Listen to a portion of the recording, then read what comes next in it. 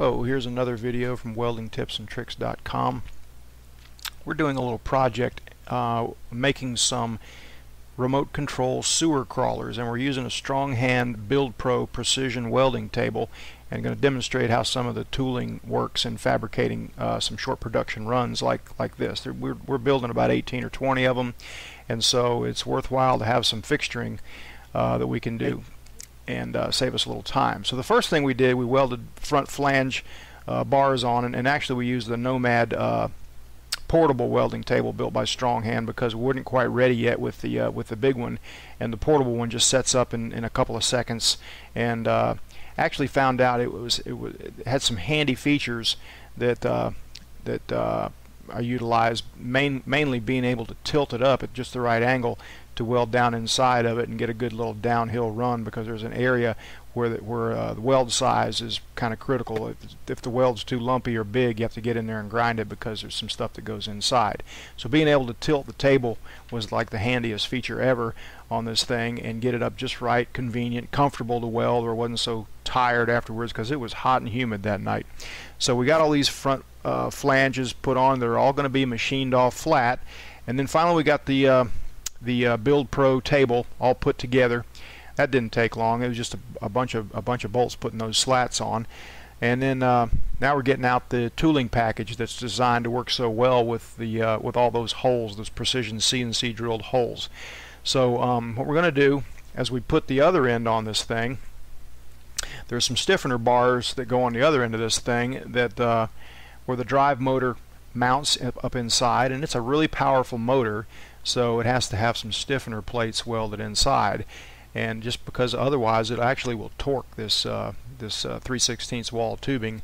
And uh, it, it doesn't work right if it does that. So these stiffener plates are pretty thick. I think they're about three quarter inch thick and they're milled out with a hole uh, drilled in them and the bosses get welded in there where the drive axles go through. And uh, so the motor mounts up inside and the, the bolt hole pattern has to be good when they're all done otherwise the motor won't won't mount up in there. So um, always the problem has been on this is, is uh, getting a good position to weld it comfortably. And so that's what I was going to do with the uh, the Build Pro table was figure out once I got it all tacked up and fit in all all uh, all 15 or 20 of these things um, use the Build Pro table to get a good way of clamping them up at just the right height and that was a piece of cake because the the stuff was just laying there. When you look at it, you see immediately how to use it. And uh, these little fastener here is that spring-loaded ball bearing. It's not like you have to put nuts and bolts to hold things down. These are really quick fasteners with spring-loaded balls, and they just pop right in. And when you tighten the set screw, the balls lock and they won't come out. So uh, just with uh, and nothing flat, these 90-degree uh, blocks were put up at different heights and uh, allowed me to, to, to, check out a couple different heights really quickly with a really quick way of clamping. And uh, so I got a good height and I found that the lower one was is a, is a better height to see more comfortable so I went with it. I'm going to show you in a minute how easy it is to, uh, to, to clamp something up. See I'm holding it with one hand. I went ahead and put a boss in one just to kind of hang over the lip and then insert the little clamp with one hand tighten it up and it's done. It's kind of important to be able to do things with one hand when you're working by yourself because you don't always have somebody to holler, hey, give me a hand with this. Now I could have done this. I could have put the riser blocks upside down, taken off a, one of the slats and put uh, at a 90 degree and just use that as a really quick quick way to clamp things. But I, I just the quicker way was just to use the 90 block. There's lots of different ways to do everything. So once I got it clamped up, I'm frying this in here.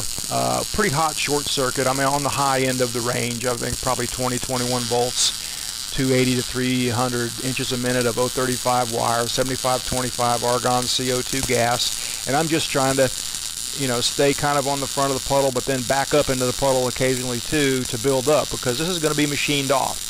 So if, if it gets machined off and there's low places, that's bad. You got to come back and rework it, add a little weld, remachine it, uh, rework is bad when you're trying to make a little money and trying to keep the machinist happy too.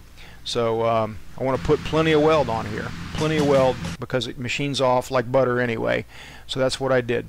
Alright, that's just one simple use. Stay tuned for a lot more as we finish this sewer crawler uh, job up.